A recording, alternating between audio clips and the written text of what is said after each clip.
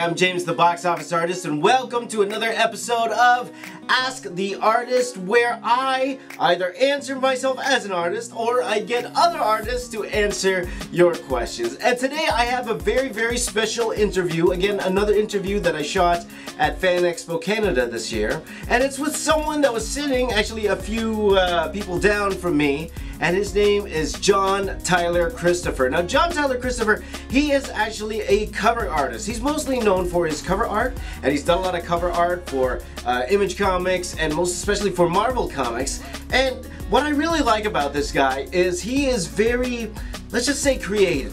See, so today's episode is really about thinking outside of the box when it comes to you selling your art, to you making it in a career in art, which might seem a little bit out of the ordinary to say the least, right? Because sometimes when we think about having a career in art, okay, I gotta go work for a video game company, I gotta go work for a film company, I gotta work for uh, Marvel Comics, that type of thing, I gotta be a penciler. But there are other ways to make it as an artist that sometimes we don't think about. And sometimes we have to be innovative in trying to make money off what we like to do every single day, and that is drawing. So how do we do that? How do we think outside the box? That's what I found very interesting with this interview I did with John because the way he thinks about, uh, you know, making money when it comes to his art, uh, the way he approaches making money in art today, I thought it was really, really interesting. And he is actually a very well-spoken guy, a very entertaining guy as well. So we can learn a lot from everything this guy is doing when it comes to making art his career. So I thought he would be a great guy to talk to you, to all of you, and his suggestions is for you is really, really cool. I hope you'll enjoy this. So why don't we get to my interview with John Tyler Christopher. I'm here with my friend John Tyler Christopher. He's drinking a coffee. The man with three first names. How are you, my friend? I'm really good, man. Doing really well, yeah. Good, good, good. Uh, John is a very, very talented artist, and he's here with me. I'm actually right beside him here at Fan Expo. John, why don't you tell our viewers what are the things that you, or first of all, what are you working on right now? Um, currently, I do the action figure variants for Marvel comics. Um, I also do so I would like do the ones for Star Wars, the actual Marvel line, Secret Wars, things like that. Um, do a lot of work for Disney as well. Um, I'm currently doing the box art also for Hasbro's Marvel Legends line. So uh, between that and having my own business, I'm keeping myself pretty busy. You know. Yeah. You sound like a very busy guy for sure. yeah. Uh, how long have you been uh, uh, doing art as a career?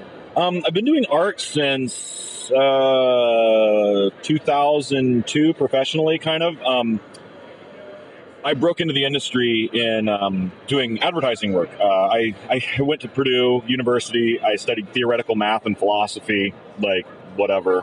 Uh, I was told I was never going to be able to make it as an artist by the people in my small little town. Um, from there, I was like, hey man, you know, I really still want to pursue this. I studied 3D animation, absolutely hated it. Um, so I kind of became the concept artist out at the Art Institute of Seattle. Um, from there, though, I started doing a lot of graphic design work and advertising. And it's funny because one of the things I learned and the dream was always to be work in comics. Like I wanted to be a comic. I wanted to draw the Marvel guide to the universe, Marvel universe. So you know the old one where they're like standing in the three the turnarounds and stuff like that. And um, so that was always the dream, but I never knew how to get there.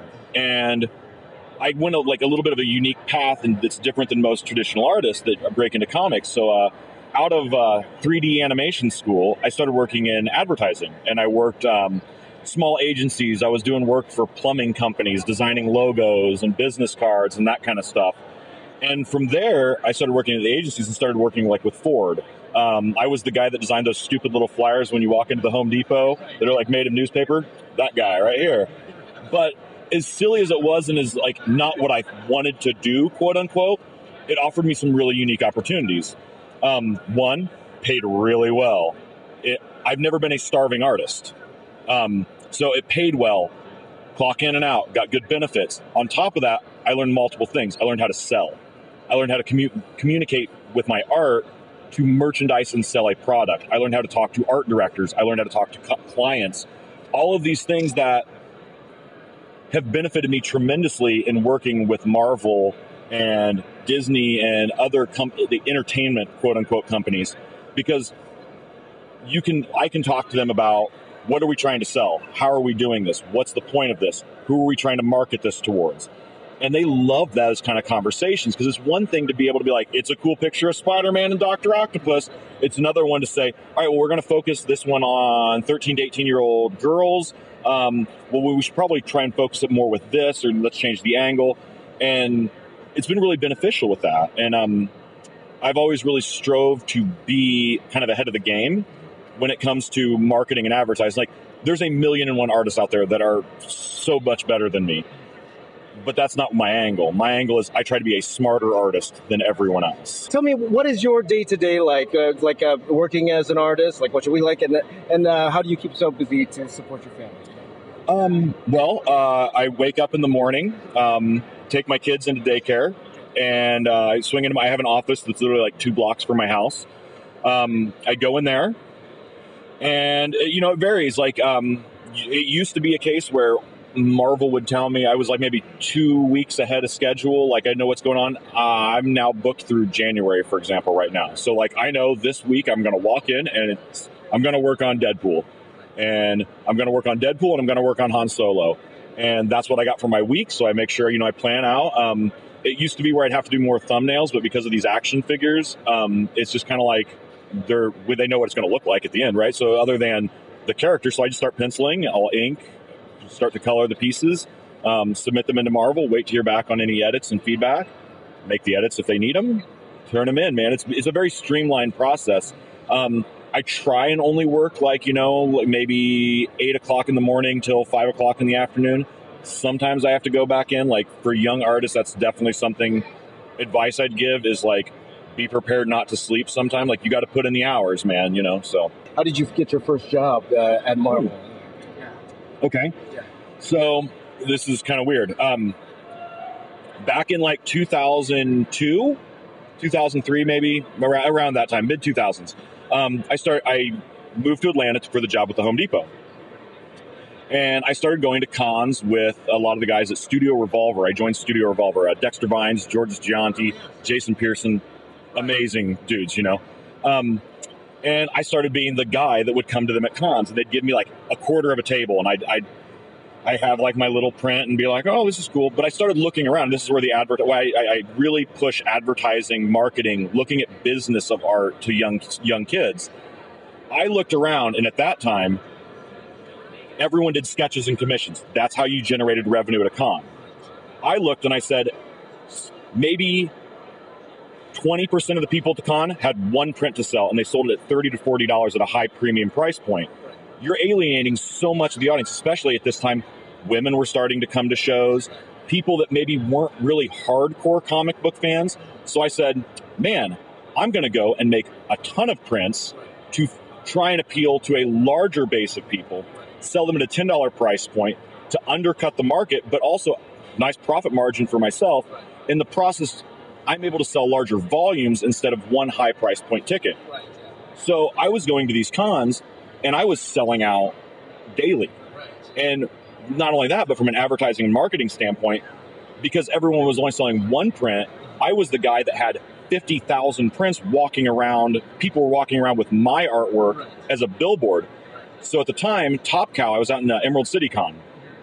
People were walking by and they literally, Top Cow, the editor, uh, Filip Sablik, who's just an amazing editor, super great guy. So I guess people kept walking by Filip and he eventually was like, okay, stop all I am seeing is people walking around with this art, this person's art, like from an Emma Frost to a, you know, um, some D and D stuff. Like, wh- who is this person?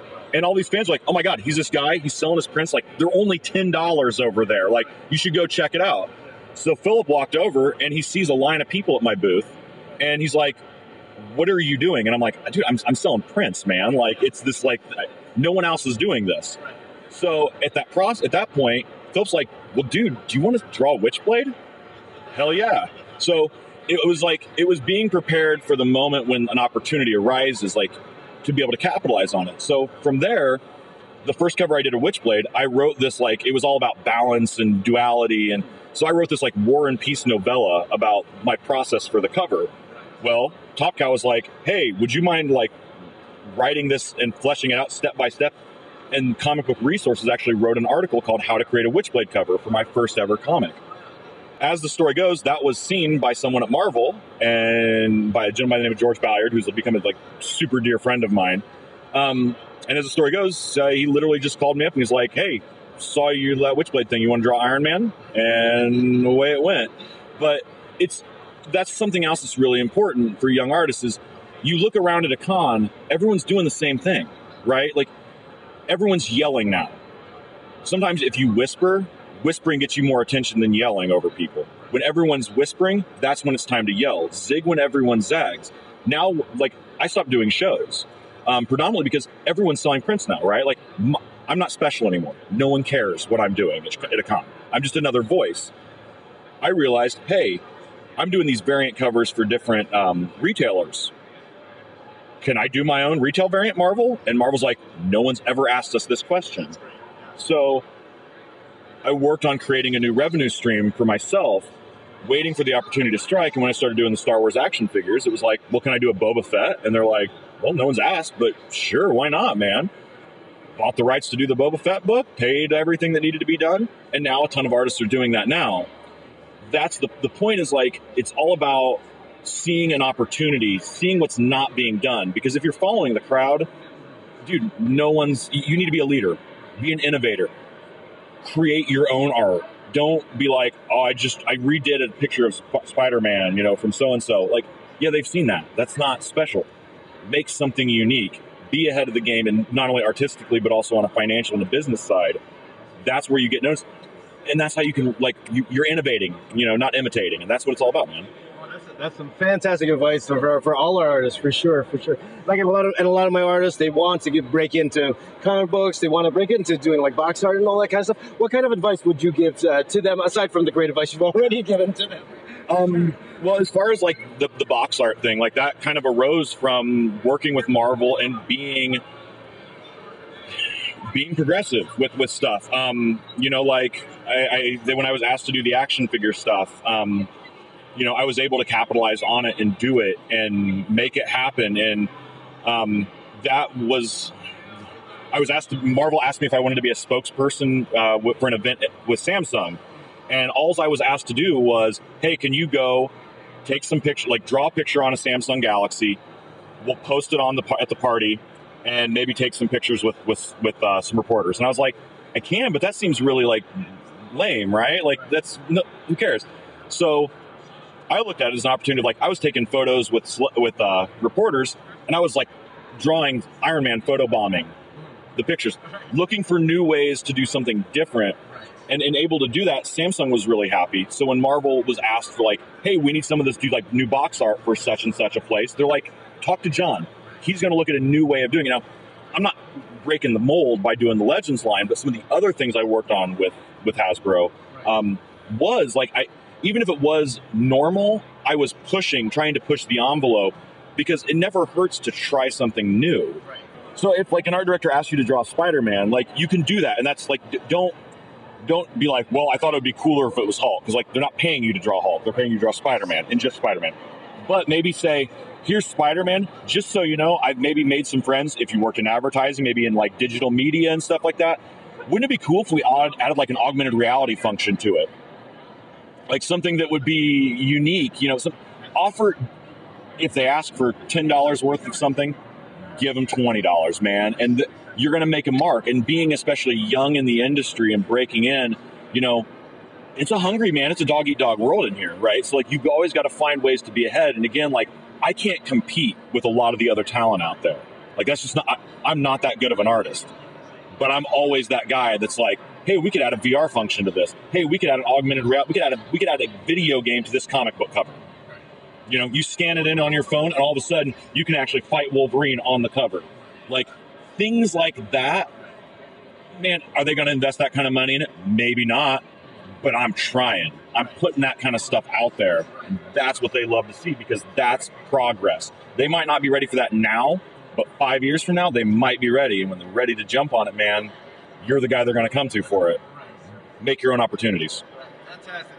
Great, great advice on innovation and everything. I personally learned a lot. Thanks. Thank you so much, John. I'm going to take some of those ideas too. it's gone, bro. It's gone. So before we end off, where can my viewers find you? You've been a wealth of knowledge for them. Where can they follow you? Um, well, I'm on uh, I'm on Twitter and on Facebook. Uh, Twitter at John at John Tyler Chris.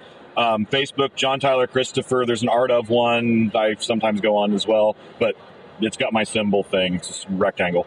Um, I'm all over the internet, man, and I'm open. Like uh, my email address is all over the web. Like hit me up if you see me at a con. Like I love talking about this. I love talking to students. I love if you have a, t- but I love talking about how to do taxes. Like that's like seriously, you know, like that's what this is about, man. Because it's about building smarter artists and better business. Like you don't need to be a starving artist, man. Like don't don't do that. So.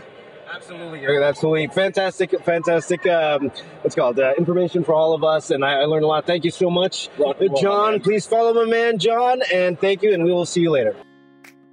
Thank you so much, John, for the amazing interview. And what a great interview. You know, so again, sometimes we don't think of those extra avenues to make money. Sometimes we just go into the regular thought pattern of, I need to get a job to earn money this way in this particular profession. But no, there are many ways to make money in this profession. And John is, is one of those guys who thinks outside the box, thinks, tries to think in a way other artists aren't thinking of and actually becoming an innovator in that sense. Innovation, especially when it came to when he was selling prints before, to now uh, like licensing out covers, making his own covers that he's uh, selling himself, you know, stuff like that. I think as artists for us, sometimes we have to find those different avenues because not everybody can get a job at Marvel DC. Not everyone could be a concept artist for Ubisoft.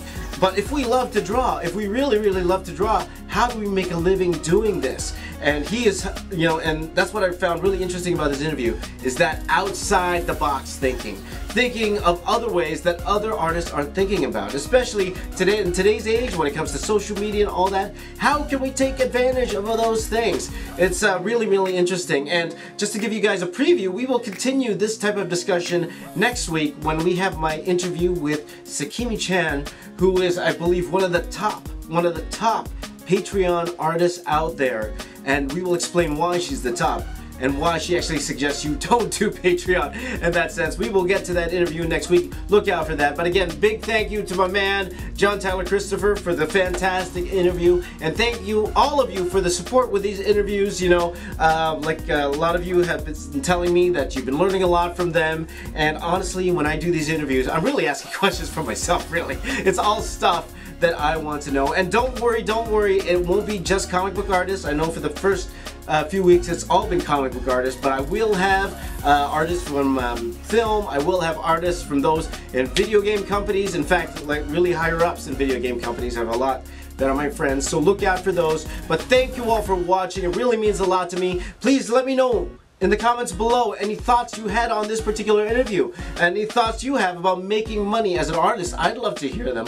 Uh, also please hit that like button. Please share this video to anyone who you think could benefit from this video. I'd really appreciate it appreciate it. And please hit that subscribe button. Uh, I'm not sure if I'm there yet but I'm very very close to 15,000 subscribers. So if I'm there already if I'm almost there thank you all for subscribing and for sharing my videos. Really really really means a lot to me. I really do appreciate appreciated. Please continue to follow me on social media. Twitter, Snapchat, Instagram at Box Office Artist. Please follow me on Facebook as well. I do a lot of live streaming there. Facebook.com slash The Box Office Artist. Please hit that subscribe button once again. And my name is James. I'm The Box Office Artist and I'm here to say, keep drawing.